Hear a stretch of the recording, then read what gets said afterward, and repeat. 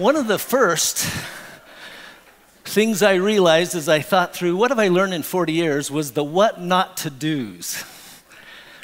But I'm not going to bother you with those today. I'm going to focus on the what to do's. And it starts with context. What's your future? What's it going to be? Yogi Berra said, The future ain't what it used to be. And I learned that in the 1980s with a young, baby face looking Joseph Grenny.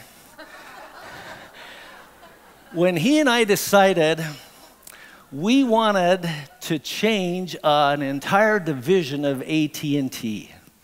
How's that for a goal? In the 30 some odd years since then, Joseph, myself, us at VitalSmarts, we've decided it's a bigger goal. It's change the world. It's go where you can to influence for good and change the entire world. I also found it's a lot of fun if you change the world with people you love. And uh, that's my um, youngest son and oldest grandson in Mbale, Kenya, helping us to change the world. Lessons learned. When you choose your change objective, why not change the world? How about that be your change objective? Change the world. How do you do it? Well, you change the world one person at a time.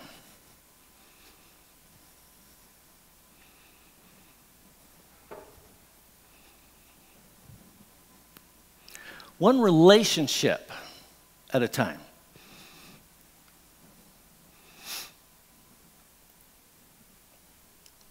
One team at a time. One workplace at a time. One family at a time. One village at a time one complex organization at a time, one city at a time. I don't know about you, but most of my future's ahead of me. So, when planning for that future and looking ahead, maybe here's a few ideas that'll help you do your very best in that future. One of my heroes uh, Stephen Covey, who passed away recently. When we were starting the Covey Leadership Center in the early 80s, I was really nervous. And Stephen was in attendance when I gave a presentation to a bunch of supervisors. I uh, finished and sat down, and he took me to dinner. He said, Can I give you some feedback? I said, Yeah. He said, You're a good teacher. I said, Well, thank you. He said, You're a good trainer. He says, You reach people really, really well. I said, Thank you. He said, The only advice I'd have to give you is seek to bless, not impress. Seek to bless, not impress. What I realized is when you and I are seeking to impress people, that we're great and we're wonderful and we're smart and we're clever our focus is on ourselves. And when you make a mistake, you go, uh oh, did they see that mistake? What do they think of me? Other people don't make that kind of mistake. And we start doing this self guessing. We uh, be self, become self conscious. And we end up making more mistakes. But when our focus is to bless others, I have some information that I think will make their lives better and you make a mistake, you go, huh, that didn't work for them. Let me just brush that away and do something that will work for them. Let me make sure we're connecting in their understanding. And as your focus is on them, you actually operationalize a, pr- a principle called start with heart. Your motives are about blessing, your motives are about helping, and it's not about me. I found that to be one of the most important bits of advice I've ever received.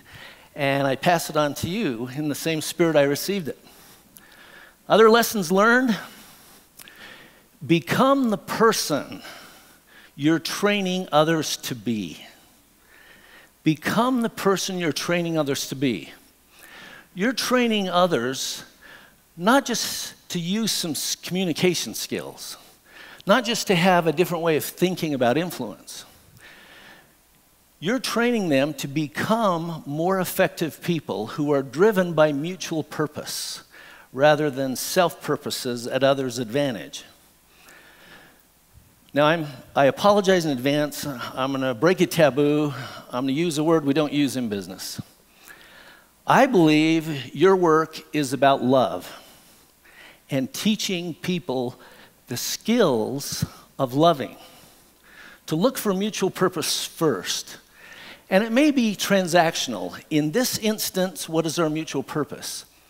But the more you use these skills, the more you think of mutual purpose, the more you start with heart and say, What are my motives? It starts being relational, not transactional. You're looking for a way that works for them because you want them to succeed.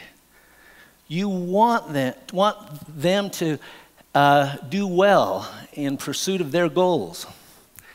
As you continue and persist with the use of these skills, it becomes beyond transactional. It becomes a worldview.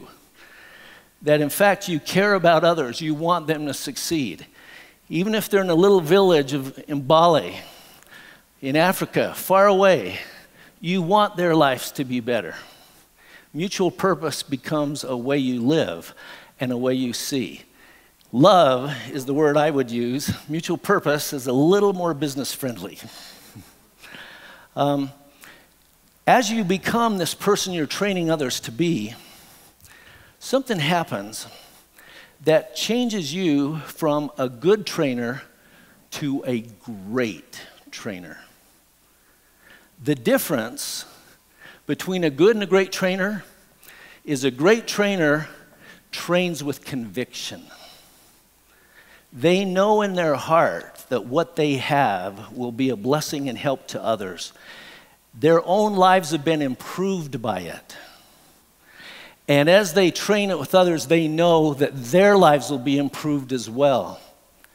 Now, becoming the person you're training them to be, that means walking your talk, right?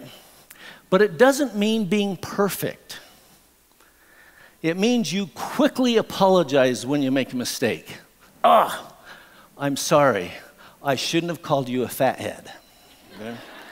You quickly apologize when you make a mistake. You let people know that you're a person in the process of becoming.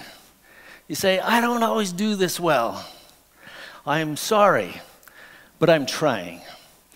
And they you then, by doing that, model to them what you want them to become a person who's becoming something even more effective than they were before, with better relationships as a result. You don't have to be perfect, you just have to be trying. And the more you experience these things and wrestle with them, the better you'll be able to advise people and answer their questions and share your stories with them. Um, I also feel one of the most powerful things you can do to be an effective teacher, an effective trainer, an effective speaker and presenter is to use stories to touch people's minds and hearts. What I found is by telling heartfelt stories, people not only get the idea you're trying to make mentally, but they feel something in their heart as well they associate with experiences they've had, and that tends to validate what you're telling them in the story. Now, you can tell this story by saying, Let me tell you about what a, an experience a friend of mine had. And you could tell this story without pretending it's your story, correct? But as you work with these skills and live with your skills, as you contact participants after the fact and say, How's it going? What's happened? You'll begin collecting stories that are your stories. And so, by mixing some of our stories with your stories, uh, you can use stories in a powerful, powerful way to teach and train. Well, let me summarize. Oh, no, we got to talk about your future, right? The future is not merely the result of choices among alternative paths presented by the present, but a place that's created. Created first in mind and will, created next in activity. The future is not someplace we're going to, but one we are creating. The paths to it are not found, but made. To quote one of my favorite people, the best way to predict your future is to create your future. What future are you creating? Wish you all the best. Thank you.